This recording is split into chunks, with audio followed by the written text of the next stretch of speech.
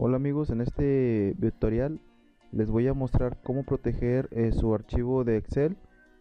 Básicamente es para que nadie pueda ver eh, lo que ustedes lo que ustedes hacen. Eh, por lo general, pues muchas de las personas guardan cuentas que han pagado o tienen algún tipo de inventario en, en dinero, entonces este procedimiento les puede ayudar mucho. Bueno, vamos a empezar. Ya después que hayamos hecho nuestro archivo, le vamos a dar le vamos a dar aquí en archivo luego guardar como y aquí en la sección de herramientas vamos a darle clic y vamos a darle opciones generales. Automáticamente despliega un menú donde nos pide una, una contraseña de apertura y una contraseña de escritura.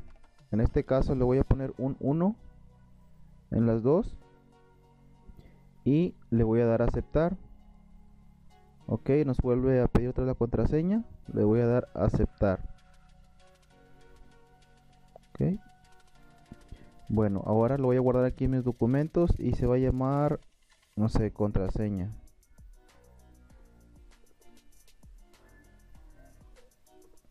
Ok.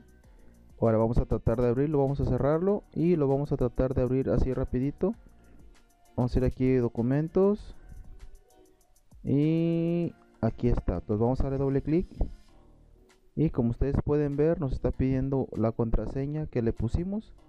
Entonces vamos a darle el 1 ok otra vez.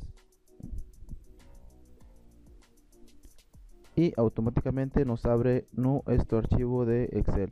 Es muy importante que la contraseña que le vayan a poner eh, la guarden o la apunten en algún lugar que ustedes sepan.